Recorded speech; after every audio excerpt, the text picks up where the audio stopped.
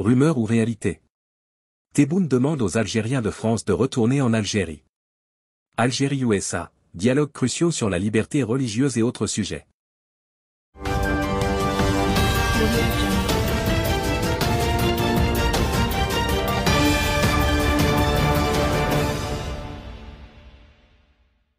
Rumeur ou réalité?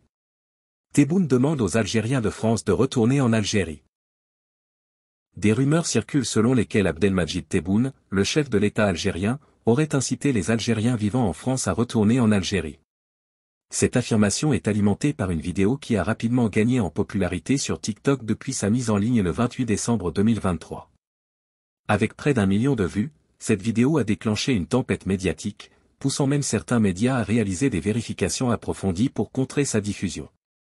La vidéo en question présente une séquence où l'on voit Abdelmajid Tebboune.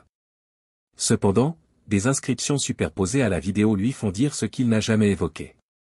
Le texte ajouté suggère, Abdelmajid Tebboune encourage les Algériens établis en France à rentrer en Algérie. Mais est-ce une décision viable?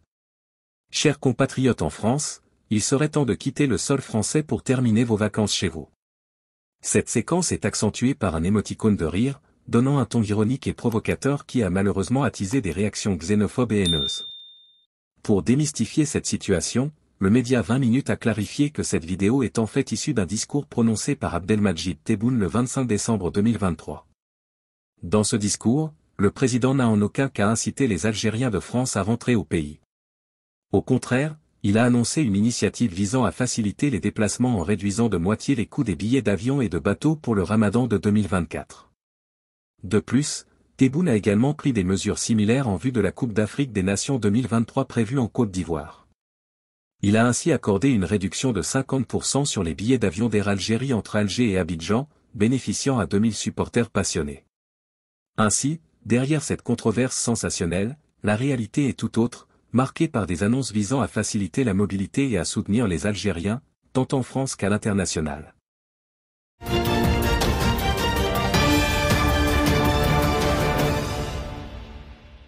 Réponse de l'Algérie face aux accusations américaines sur la liberté religieuse. Suite à une conversation téléphonique avec Anthony Blinken, son homologue américain, le ministre algérien des Affaires étrangères et de la communauté nationale à l'étranger, M. Ahmed Attaf, a exprimé ses préoccupations quant aux déclarations récentes du département d'État américain concernant la liberté religieuse en Algérie. Il a mis en évidence que ces affirmations ombrageaient les actions concrètes de l'Algérie pour garantir la liberté de croyance, un droit solidement ancré dans la constitution algérienne. Au cours de cette interaction, M. Attaf a évoqué les échanges en cours entre les deux nations sur ce sujet spécifique, confirmant la disponibilité de l'Algérie à collaborer avec l'ambassadeur américain dédié à la liberté religieuse. Le ministère algérien des Affaires étrangères a indiqué que l'objectif était de clarifier les actions et les engagements réels de l'Algérie envers la liberté religieuse conformément à ses engagements internationaux. Par ailleurs, le ministère a précisé que cet appel entre Ataf et Blinken avait également abordé d'autres questions d'importance, telles que la situation sécuritaire en mer Rouge et les développements récents dans la bande de Gaza. Des discussions ont également été engagées sur le conflit au Sahara occidental et l'implication des États-Unis dans les initiatives politiques menées sous l'égide des Nations Unies. Abonnez-vous à notre chaîne.